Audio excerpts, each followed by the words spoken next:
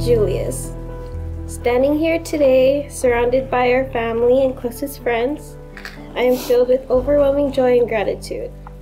This is one of the days I have always imagined, wondering who I would have ended up with, what he looked like, and the qualities he would possess.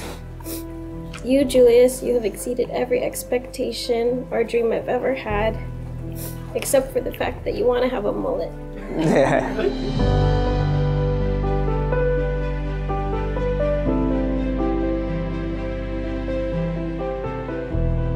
My beloved Roxanne, today I stand before you.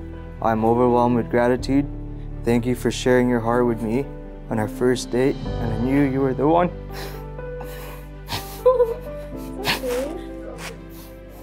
the one I wanted to settle down with and build a future together. You are the most caring and thoughtful person I know, and you always put others first. Are my partner, my best friend, and equal in all things. You have taught me a love that is kind, loyal, fun, and unconditional.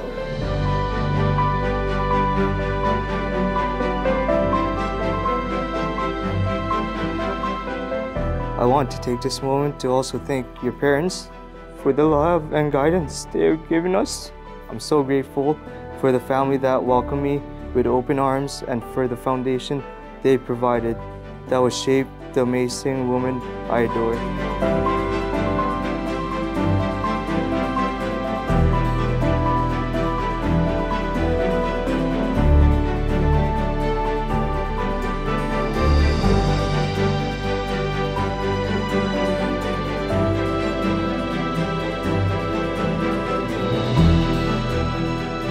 Roxanne, thank you for challenging me to grow, to be curious, and to become a better version of myself. Without you, I wouldn't have the life that I have now.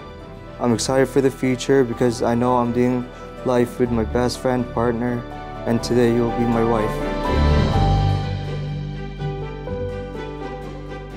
Today, I give myself to you entirely.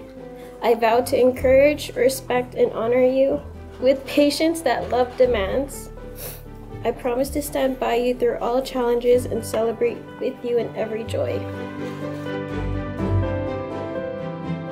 From today and onwards, I promise you and Tito and Tita that I will love your daughter every single day. and to be there for always. Let us honor the love we share, the families that brought us here, and the beautiful life and family we will build together.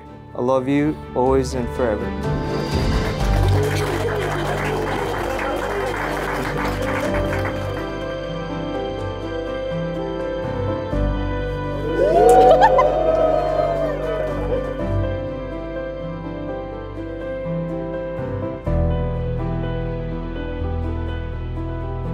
We did it!